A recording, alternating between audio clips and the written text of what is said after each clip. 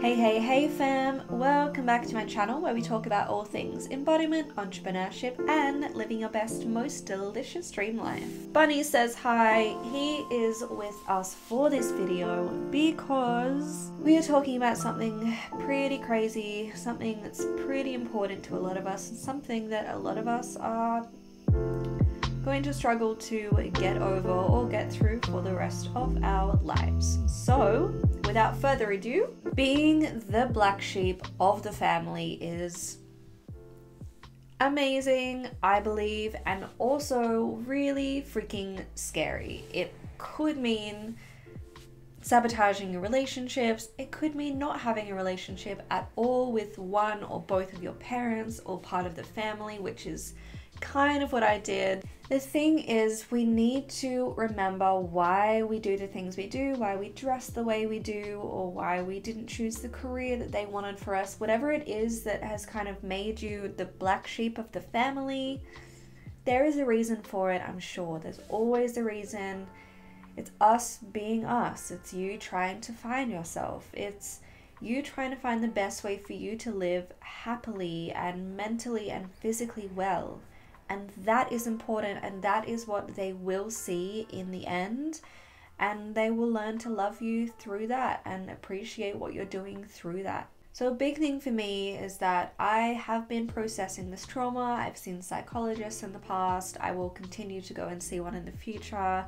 Still processing it, still repairing relationships and building upon relationships as I've changed and they've changed, and their needs and my needs have changed, but of course, only with the people that do love you and respect you and don't bring you down. I had to cut off one half of my family, but the other half is beautiful and I'm repairing that relationship, although it still sometimes makes me sad to see them because I miss what we used to have and I miss that I couldn't have that all of the time. Things happened and we both changed, but it's worth it and it's beautiful. And yeah, as long as you can find the people that still love you for you and support you for what you're doing and are happy that you're happy, that is what matters. Try and remember that, especially if it's an older generation that kind of see you as this black sheep that have kind of cut you out from things or don't understand you or don't really try to understand what you're about it's their conditioning, it's not your fault, it's what they have been through and what goes on in their head. It's really, really hard for us to reprogram our brains after 50 years, after even 10 years, 5 years, 1 year of thinking a certain way, of people telling us to be a certain way. You end up believing that that is how it should be, and then you want the best for your kids or your family or your friends so you kind of put that onto them as well. So that is where it comes from. It's not your fault. It's all of their past conditioning and stuff. And it's also maybe what has made them happy in the past. So they believe that that is how you can be happy. And remember, of course, this comes from love. It all comes from love. They want to tell you to do a certain thing because they love you and they want the best for you, and that's how they believe that you will be happy. So, all we need to do is show them that they can be happy for you because you are happy doing your thing your way. Often, when these things happen, when people separate for a while or don't have as close of a relationship, it's usually in like teens or early 20s, and then it kind of comes back and you can resolve and repair and rebuild that relationship. Time is okay. It's okay to take time to figure out what you want, especially if it's kind of breaking out of the womb kind of situation, breaking out of the mold, and they're probably just in shock. It takes them a few years to realize that, oh, okay, they're doing okay. They're still on this path, so it must be a thing for them and I love them, so here I'm going to support them. It just takes time for them to kind of get over that huge change and to get over whatever ideal or whatever path they had in mind for you. Obviously, this is not easy to do, and I can only start talking about it now. As I'm 27, I've done years of work on this. I didn't talk to my family for years at a time when I was going through all my stuff and figuring out who I was as a person.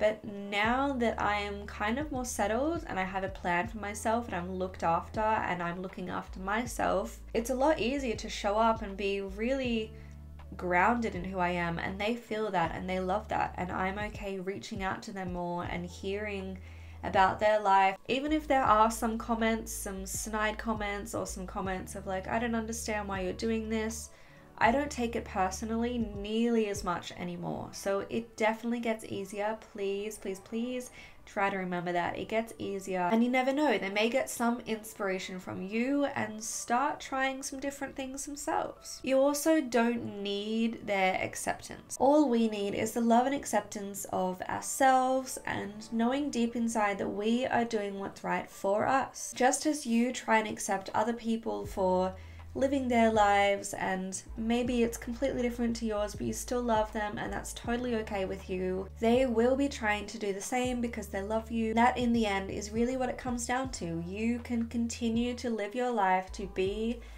however you want to be, express yourself, be different to all of the people around you. That's totally sweet. You will find your support, you will find your community, your family, however you want to live your life it will make sense to you and it doesn't need to make sense to anybody else. It just needs to feel right for you and feel like you are on the right path for what you want to achieve in life and how you want to be and what actually makes you happy. You don't necessarily need to understand them or spend heaps of time with them or acclimate to their life and they don't need to do the same to you. You can love them from afar if that's what works best for you or you can love them from close by but still do your thing and have a very different life. You don't need to tell them everything. All of these things are totally okay. It's your life and you deserve to live it however you want. I hope that helped some of you. Today has been a little bit difficult to record because I am a little bit sick, but we love being here and I love speaking with you all and connecting with you. So, if you have any video requests or any questions about some stuff that came up in this video or any of my other videos, please leave a comment below or send me a message on Instagram at Kaalilycan. Make sure to like and subscribe to see more of these videos, and we will see you soon. Okay.